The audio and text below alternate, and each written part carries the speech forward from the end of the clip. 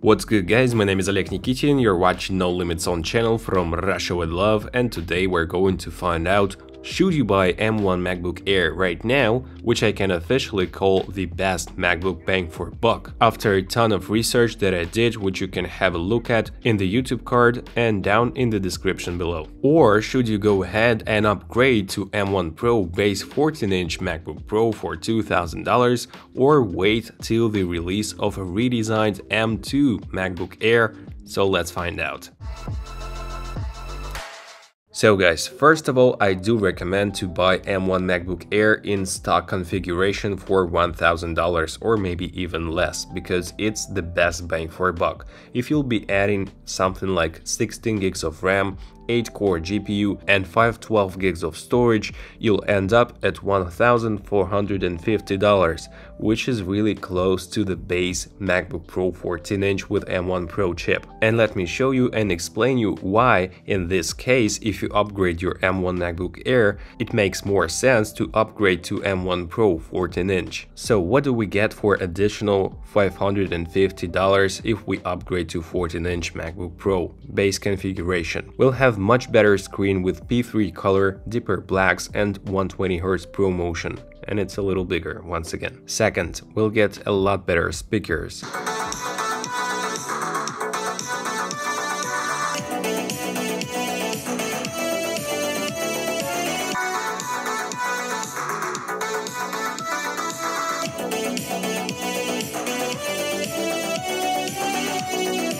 1080p camera versus 720p on the MacBook Air. Studio quality microphone which I'm recording my voiceover right now so you can hear the quality of this microphone right here. You'll get faster SSDs, which is good for your swap memory usage if you run out of RAM. You'll have dedicated ProRes encoders, which are much faster for ProRes export time and a little smoother workflow. You'll have additional ports, 3 faster Thunderbolt ports, more external display support, MagSafe, SD card reader, HDMI, and you will absolutely have to buy a dongle for your MacBook Air because it only has two Thunderbolt ports and it will be from 50 to $100 easily. Also, you'll have bigger trackpad and a full-size function key row. The cooling system fans for less throttling performance under heavy loads, and overall better and faster performance especially in video memory related apps. So now let's add $50 to M1 MacBook Air I've talked above, which is 1450, and we'll add those two $50 advantages and you'll get $2000 MacBook Pro 14 base model. So to me it makes total sense.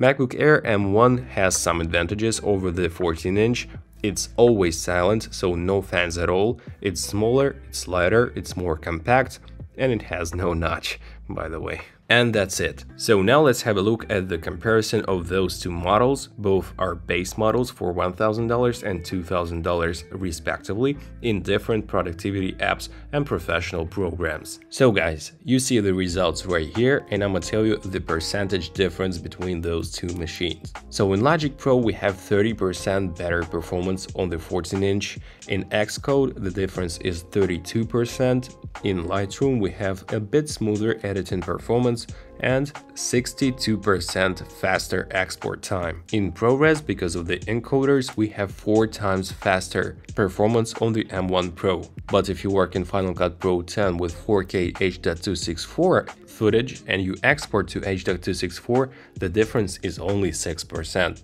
so it doesn't really make sense to upgrade to M1 Pro for this kind of task. And in 3D graphics Blender PutyTalk test we have 90% difference. I also did a comparison of M1 MacBook Air with my wife's M1 Pro 16-inch base model for $2,500 in different camera codecs and resolutions and here are the results.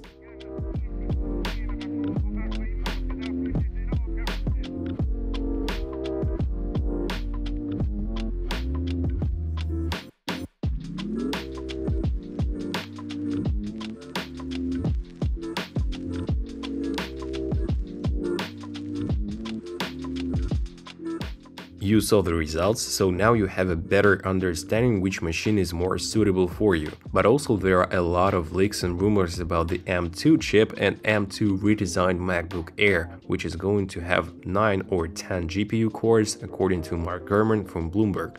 Also, it will have 8 cores CPU, four efficiency cores and four high performance cores, but it'll be still slower than the M1 Pro. It will be most likely built on 5nm 3rd generation process or N4P and probably even built on ARM v9 architecture instead of ARM v8 in current M1 lineup. And according to MaxTech research, I'll leave a link down below to that video, we should expect from 15 to 25% performance boost compared to M1 in terms of CPU performance and around 30% boost in terms of GPU performance. According to Mark Gurman, the M2 MacBook Air will be sold alongside the current M1 MacBook Air, so it'll 100% be more expensive than the current MacBook Air. I assume $1,300 for the base model. There is also controversial information about Mini LED display. Some say that it will have the Mini LED display technology, but some say that it won't have it. It almost 100% have a total redesign with probably white bezels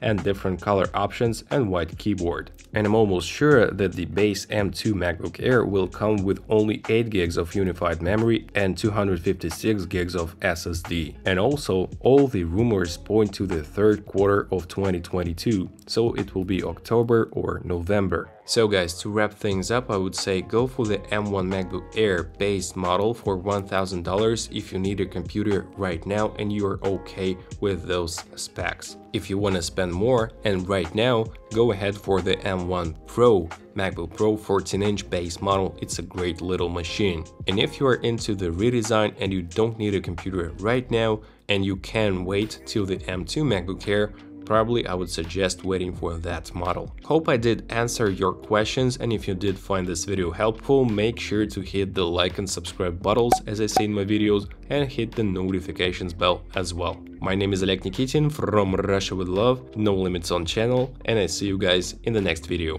Take care, bye.